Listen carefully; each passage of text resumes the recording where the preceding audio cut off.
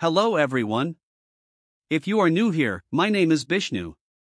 And I would like to welcome you to my channel which provides free downloads of wonderful Lisp files, shares many important tips and tutorials etc. which are certainly going to help you to enhance your AutoCAD skills to pretty much higher level. And there are already some videos with free Lisp downloads and their use tutorials in this channel.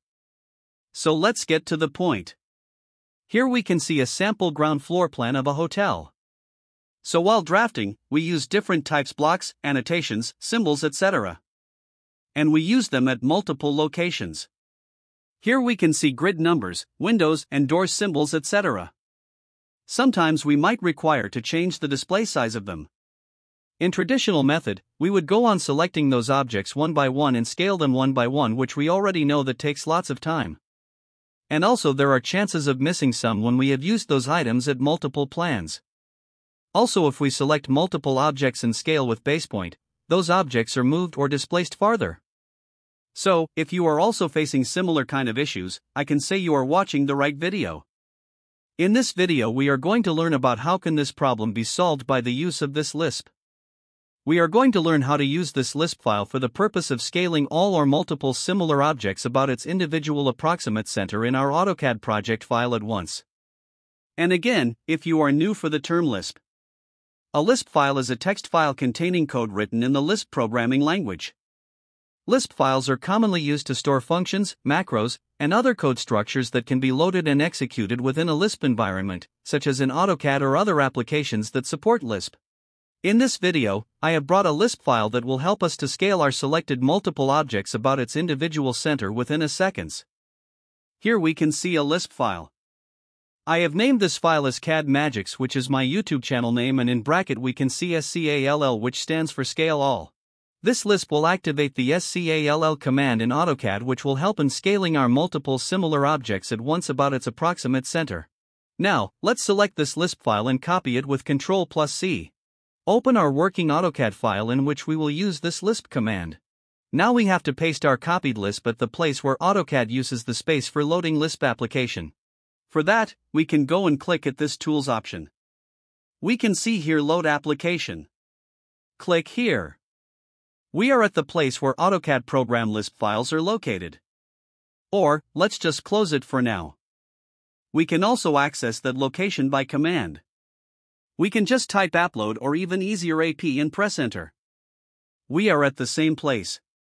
From here we can load or unload any applications which are either AutoCAD default programs or any others we have brought here.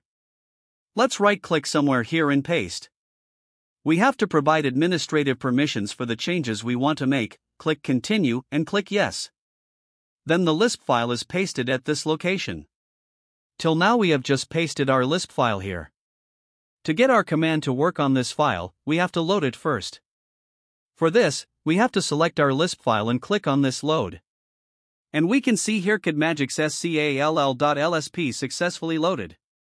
Now we can close this dialog box you can simply click on the link provided below for downloading. But, did you subscribe the channel? If you're new here, let me tell you I create practical AutoCAD tutorials to help you level up your drafting skills one step at a time. There are more useful tutorials on my channel and still more videos are on the way, so make sure don't miss any. Since my channel is very new also I like to request you to share this video to others and support this channel. Now, let's dive in and make AutoCAD a little easier for you to master. Okay. Let's say we have these grid labels. This seems a bit bigger than required. So, we can either select them all first or give the command or just give the command and select later on. Let's type SCALL and press enter. It prompts us to enter the scale factor. We are going to reduce the size, so let's type 0.5 and press enter. Then select the objects we want to scale and press enter. If we want to repeat the process for the leftover objects, we just press enter to activate the last command. We can see 0.5 shown default, just press enter. Select the objects and press enter. There is another way too. Let's say we want to change these door and windows labels. We think they look a bit smaller. So we can select one of the label and type select similar and press enter. We can see all the door and window labels are selected. Then type the command SCALL and press enter. This time let's type 1.2 for scale factor as we are going to make them a bit larger. Press enter. Our selection is not shown selected and it prompts us to select objects once again. But this time we can just type P and press enter.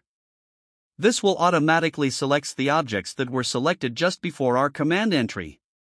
We can see our previously selected labels are selected and highlighted.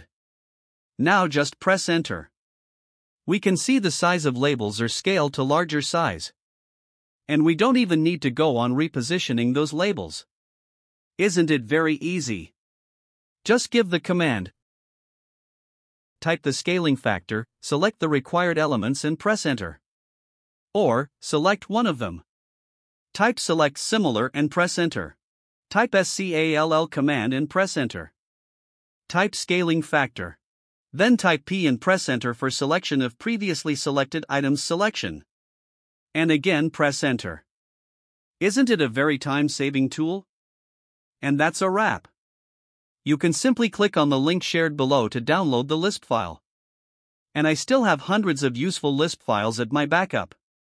Since my channel is very new, do not hesitate to support by sharing, do not forget to like, comment, and subscribe for more tips and tricks. I have used this AI voiceover for clear audio. If you found this tutorial helpful, and if you have any questions or need more clarification, drop them in the comments below, I'd love to help. Thanks for watching, and happy drafting!